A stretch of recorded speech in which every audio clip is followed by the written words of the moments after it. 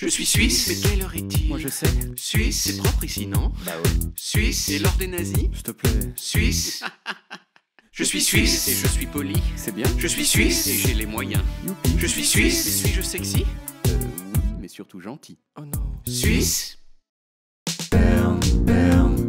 Pourquoi c'est Berne, la capitale de la Suisse, c'est pas une ville mieux? J'adore cette question, je la trouve hyper pertinente. C'est également mon avis. Franchement, Berne, c'est une ville trop sympa. Et ce, pour au moins 5 raisons. 5 Ouais, 5, et je vais les dire une par une. Raison 1. Berne, ça fait partie du petit nombre de villes qui ont été construites sur la boucle d'une rivière. Bon, c'est pas la seule, il y a aussi celle-ci, celle-ci, celle-ci, celle-ci, celle-ci, celle-ci et celle-ci. Mais c'est quand même une chance quand on pense que la plupart des boucles de rivière sont totalement dépourvues de villes. Et du coup, c'est triste. Raison 2. Berne, c'est une ville dont la plupart des immeubles sont verts. Vert, vert, vert. Pourquoi? Eh bien parce qu'ils sont souvent faits avec des pierres des carrières de Ostermundigen qui sont euh, bah, vertes. Voilà.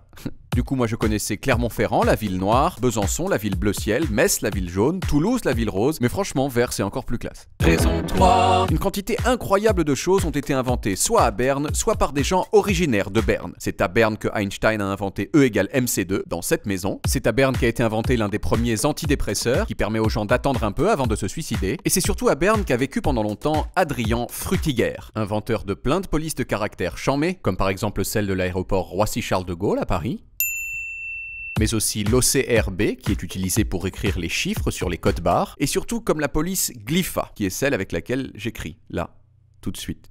Glypha. Raison 4. À Berne, il y a une nightlife de ouf.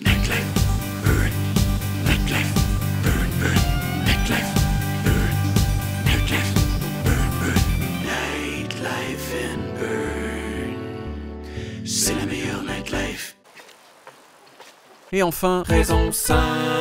J'avais un peu du mal à le croire tellement c'est ouf, mais à Berne, on peut se jeter un peu n'importe où dans la boucle de la rivière et se laisser aller au courant comme un connard. Mais bon, le problème c'est qu'à Berne, il y a aussi des choses un peu nazes. Genre l'emblème c'est un ours super mal dessiné avec un zizi rouge que les Bernois foutent partout. Genre là, là, là et là. Et puis surtout, truc chelou, il y a trois agglomérations en Suisse qui non seulement sont plus peuplées, mais qui en plus sont mieux.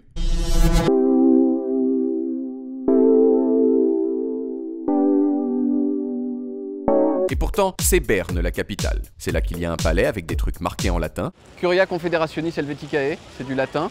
Ça veut dire. euh, Et c'est là que dans l'ensemble, les choses se décident. Du coup, tout ça soulève la question du début pourquoi est-ce que c'est Berne la capitale de la Suisse? Pour le savoir, je suis allé au musée historique de Berne. Un endroit très sympa avec une fontaine munie de pompes à eau qui permettent de mouiller par terre. Et surtout un endroit où travaille l'historien Monsieur Schmutz qui s'y connaît vachement pour tout ce qui est Berne. Je lui ai parlé pendant un bon moment et voici ce que j'ai compris.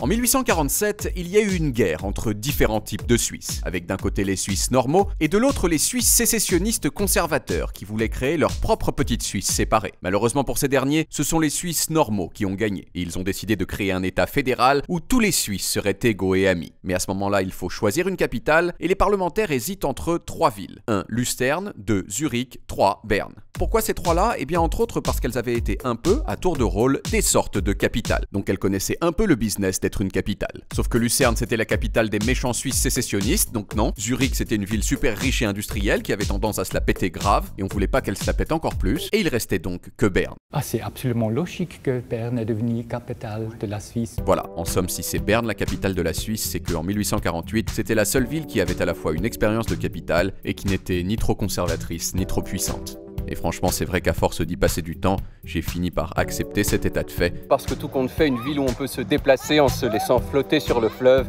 mérite d'être une capitale.